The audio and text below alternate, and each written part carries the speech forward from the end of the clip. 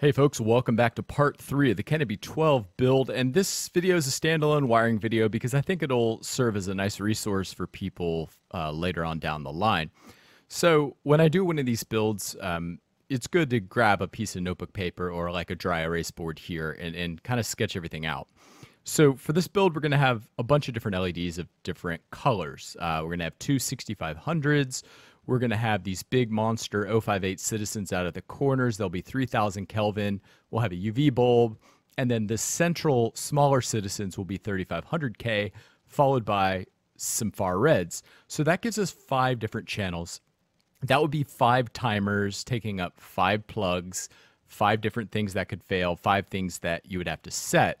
So the goal in this project is to make it to where you could just plug it in and it'll work with the controller. So to tackle a project like this and to tackle this project, I, I, like to start with the AC in. Now I'm wiring this up for 110 volt US, but if uh, an international winner wins, uh, I'll communicate with that person and we'll convert it over to their country's voltage because all of these components that I'll be using are universal. So people ask me all the time, can you attach multiple drivers to a single power cord? And the answer is yes. I use these Wago 222 connectors. They're great for connecting multiple drivers, connecting power cords like this one here, where you could just cut the end off and use it as a power cord. And I'll leave a link to these Wago solderless connectors in the description of this video, along with some other wiring components. But what I'm going to use these Wagos for in this build is like a terminal block, like you would use in a fuse box. So each Wago uh, will cover each leg of the electricity one for hot, one for neutral, and one for earth or ground. The component that I'm using here, this AC to DC solid state relay, is something you probably haven't seen on this channel. It allows the DC signal from the storm controller to interface with AC electricity. And you need to do this to shut down the big Meanwell HLG drivers. They only dim from 100% down to 10%. And so you would still have to time them to get them to turn off for your 12 hour flowering period. So I'm going to use a relay for this purpose, eliminate basically three timers, and use the all in one feature of the Storm X interfacing with the solid state relay.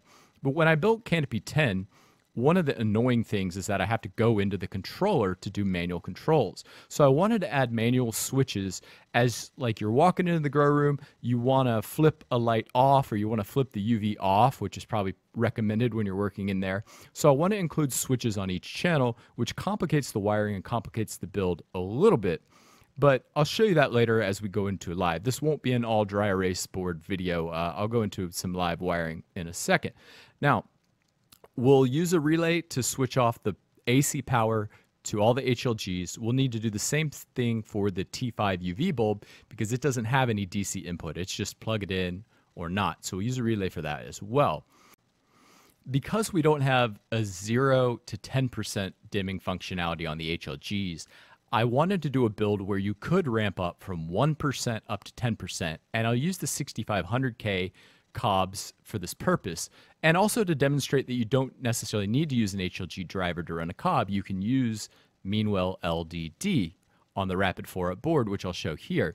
So basically, I'll have AC power coming into a 36 volt supply, which will go into the Rapid 4-up board, which all it does is take the 2 amp current from the supply and regulate that current to the cobs so it keeps it nice and consistent. So I'll be using 1000 milliamp LDD drivers basically to run each of the 6500s. And there'll be two additional slots available if the owner of the light wants to uh, upgrade later on. Now, the controller, like I mentioned, is a storm controller from Rapid LED, and it only controls 0 to 5 volt drivers. Because the Meanwell HLG that are so common are 0 to 10 volt, you need this little analog bump up thingy here. It bumps it up to a 0 to 10 volt signal. So that four of our channels will be 0 to 10 volt, and we'll have two 0 to 5 volt. Now, to run and power the Storm X, you need this dongle thing that I hate because they take up so many spots on a six strip, and you know you need another plug and another cord. So I want to eliminate that altogether and replace that with this basically the same thing, but a hardwired version. This is the Meanwell APV 2512, 12 volts, about two amps. So it'll do 25 watts. So that will power the controller as well as power the far reds. Now, because I'm only going to be using four far reds in this build, it's only about 10 volts worth of drive that's needed. So I don't want to run it off the 36 volt supply and have all that extra voltage sitting in the LDD. So I'll run a separate driver running off of this 12 volt supply that'll run the far reds. So far reds and the controller is all this thing will do. And when the fixture's energized, the controller will stay on. So if the fixture's plugged in, the controller stays on. Now the controller has a battery in it that will retain your settings. So if you do choose to plug a light like this into a timer and it loses power, that's fine. It'll come back on and retain your settings. But this light, I want it to be designed to where you could just plug it into the wall without a timer and everything will go to plan with your normal flowering photo period and all the other functionality. I know it looks complicated. but stick with me here and we will get through this, I promise. Okay, so let's see what some of this stuff looks like in real life. I bought a 3D printed case for the StormX, but it just wasn't quite sexy enough. So I laser cut this back plate out of the red acrylic that holds the StormX controller and its adjustment knob, the four switches, and the power in. So we're going to be using a standard CPU uh, computer power supply in uh, standard on all HPS ballasts and stuff like that. You know, that way uh, cords will be universal for 220 volt or 110. And then here's a little closer shot of the solid state relay that we'll be using to interface the StormX to AC components like Meanwell HLG drivers. Now, this part of the project was not water jet. It was sort of an afterthought, so I had to cut out with the Dremel. So please don't make fun of the ugly Dremel cutout. I will go back when it's all done, put a little silicone in there so that none of the burrs from the metal uh, score any of the wires or anything like that. So we'll pop the four switches in. You can see here I've got just basic wire leads coming from the CPU AC power in and those will go into the Wago terminal blocks like I suggested. Now you can buy some accessories for these Wagos that uh, like mounting plates and stuff like that, but I'm just using some 3M industrial uh, sticky tape here because they just need to hold in place to keep everything organized while I'm wiring before I put all the cable ties and stuff like that. So we'll have one for each leg, one for hot, one for neutral, and one for ground. This way, anything that interfaces with these little orange levers will be energized as long as the fixture's plugged in. And I just love these things. I mean, like I said earlier, tying any wires together without solder and without ugly wire nuts, they're super pro. Like I mentioned earlier, coming off of these little Wago blocks, we can go right into the switch that says 6500K because it can be energized. It's fully DC controllable down to 0%. Now, for the other ones, we got to make a quick pit stop into the relay. So the black wire, the hot wire, comes directly out of this orange connector into the relay and it basically interrupts it before going into the switch. And it's done that way for the UV as well. Interrupt the hot. That way, the DC control wire basically this it's just a switch, and the DC control tells the switch to be either be on or off. Now, for all the white wires, those can go directly right into the switch. For 110 volt, it's neutral, it's fine. These switches that I'm using are dual pole switches, which means that it switches both the hot and the neutral, or in a 220 volt situation, it switches on and off both hot legs. In 220, you have 210 volt. That's what makes up the 220. So this is basically just getting the AC power distributed into the switches. This is somewhat of the hard part. Once we're past this stage, we can treat it like a traditional installation and just wire the drivers right into the switches. Now, for the 058 and the 048, basically all the citizens, they do have separate switches, but they're controlled by a single relay. I wanted to do this because I didn't want to have a ton of relays in here because they do generate some heat in the fixture, but also the way I'll run it is that the storm controller will have one dedicated channel that will be a photo period channel. It'll be channel number one. So that way the user can just set channel number one to, let's say, 8 a.m. on to 8 p.m. off, and they don't really have to worry about much else. As long as that's set, they're not going to screw up their photo period and, and, photo cycle and have hermies and stuff like that. Now, the APV 1212, like I mentioned, it's just hardwired. So when you plug in the fixture, it is on, supplying 12 volts to the Storm X via this little uh, DC barrel connector. I've got a link for that in the description of the video. So that's energized, as well as energizing the far red driver. Now, the, the, the downside to doing it this way is that the far reds will need to be under some level of control from the controller, otherwise they'll just come on. But it's not that big of a deal because far reds tell the plants to go to sleep. So if there is a malfunction, it'll just tell the plants to go to sleep even if they're already asleep. Now, the final part is just connecting the AC cords from the drivers, which is pretty easy, just a little tedious. Everything, every connection here is soldered. I didn't use any crimp or, you know, quick connects or anything. I, I just couldn't, you know, I just wanted to be solid when I'm sending it to someone else's house. And then the UV cord, I just cut the plug end off of it and it will go into the switch marked UV that's regulated by the relay controlled by StormX channel number six. I know, I know. It's a complicated build, but we're going to get through this. That's why I did the dry erase diagram on the front side of this video because when you get into this wiring spaghetti mess before it's organized, it's just, it's hard on a video to see.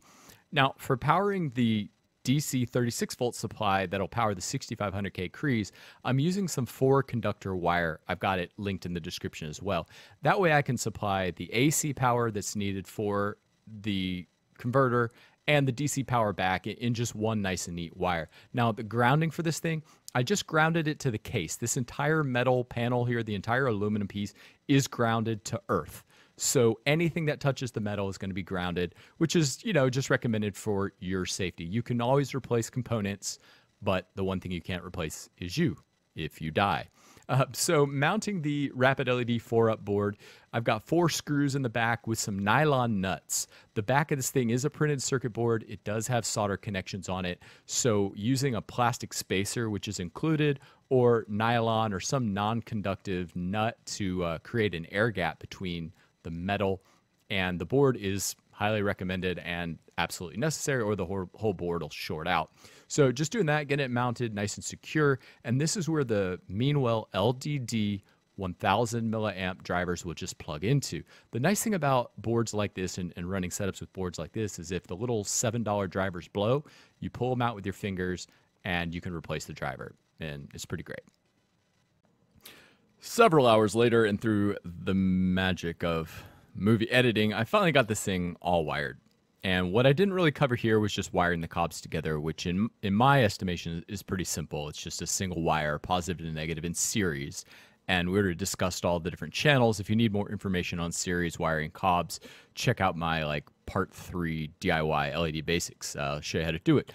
Um, so basically, it's about time to test. And I want to test the controller functionality. I want to test the relay functionality. I made myself a little list here and uh, I'll probably make some little labels or something and put it right on the fixture so that the winner knows what's going on. But there's six channels on the controller and six different levels of adjustment.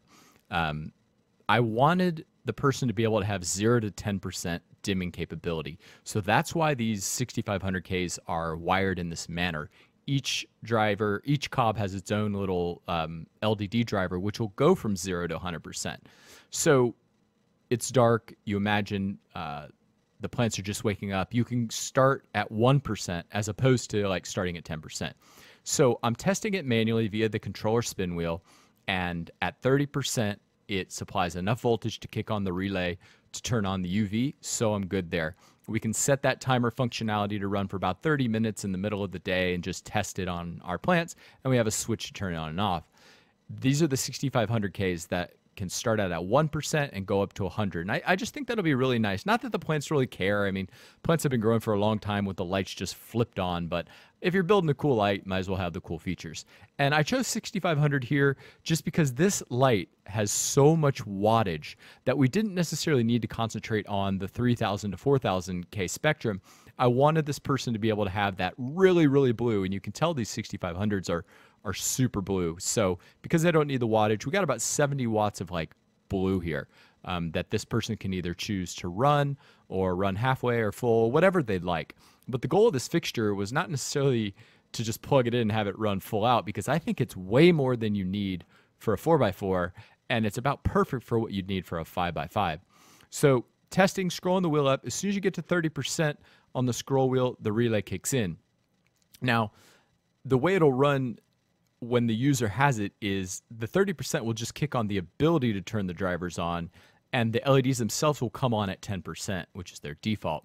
But what I'm noticing here is that the four corner lights are running, the two center lights are running, the UV is running, but the six outer lights aren't running. So I've got a problem. And this is where you really need a multimeter. Now, a multimeter is about seven bucks at Harbor Freight. And when you have a problem, the first thing you want to do is switch it into AC volts. See if the driver's getting power from the wall. And if you can see here in this fairly dark image in the bottom corner, I'm getting 120 volts at the wall. So I know the thing's got AC power, so that's good. Next, you set it into DC volts to see is the driver putting out a voltage. And you check that by just checking the positive and the negative leads coming out of the driver. If you already have it wired up onto the cobs themselves, you can just insert your little testing probes right into the pins on the cob holder. Do you have voltage? So I'm just checking the first cob here to see like, do we have a voltage? Yes, we do.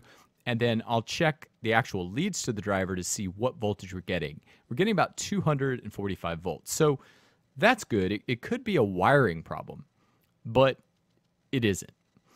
it's a brain fart problem or just being a dumbass problem or, or whatever you want to call it, an ordering issue, human error. So this seems like a good time to talk about like what citizen uh, means, what the numbers mean, because Cree, you know, they have their 36 volt, the 72 volt version, but with Citizen, you got a lot more numbers. So CLU is the line, that's the cob line, and the 048 or the 058 is the diameter. Then you have all these numbers that come after that the 12, 12, 18, 18, 18, 25. The first two numbers is how many LEDs are in series in this die of LEDs. A, a cob is 100 to 4 or 500 LEDs. So this particular LED should have 144 LEDs, 12 in series, 12 in parallel, and that gives us 36 volts. What ended up happening was I guess I ordered the 1818s, which are a 50 volt cob, which exceeds the voltage that the driver has. The driver only has 238 volts, and I'm trying to run 300 volts for the cobs, and it just isn't working. So the driver on the left is what was in it the HLG 240 C1050B dimmable driver. It has 238 volts at 1050 milliamps. And the CLU 048 1818s that I'm trying to run just won't run it at 50 watts. What I wanted and what I should have ordered was the CLU 048 1212, which would have run at 35 watts. So the options are swap drivers or swap all the chips. Now, since I had a 700 milliamp version driver on hand, I can run these larger 50 volt chips at the desired wattage. So I just swapped out the driver from a 1050 down to a 700 and haven't really affected the original design at all, other than just a, a couple voltage numbers on a spec sheet. So we'll try testing it again. The 6500s are working great, smooth dimming up and down. The camera, you know, screws up a little bit with the PWM signal. Uh, the UV's still working good. That's great. And we've got full power. So I'm happy. I threw this thing on a Kill A Watt, and we're getting a whopping 815 watts. 440 of that is coming from the four corner cobs. They're running about 110 watts each on these big, massive SSTX heat sinks. Um, 70 watts for the 6500 got about 15 watts for the UV, and then the remaining are the 3500K smaller citizen cobs. But this thing is a beast. 815 watts. I don't even think you should run it at 815 watts. Whoever wins, I would probably run it between 650 and 7. But you've got that juice when you need it. You know, the whole premise is create a grow light that has more than you need so that when you do need it, you've got it. But you don't necessarily have to use it all. And I think that'll be really cool. So we'll button this up and I'll do one more video announcing the winner and going a little more into the Storm X functionality. I'll show you the menus and what it can do. And be sure to watch us on the roundtable tonight to see who wins this light. Thanks for watching, guys, and I'll see you on the next one. It'll be a couple days, but I'll see you then.